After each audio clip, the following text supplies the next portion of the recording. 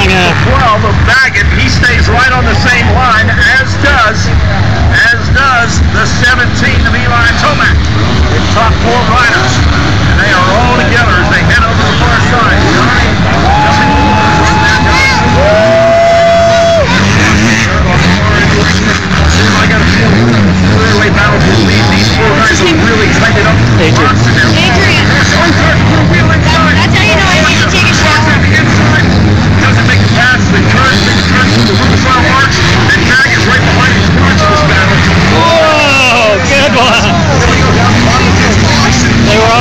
Side by side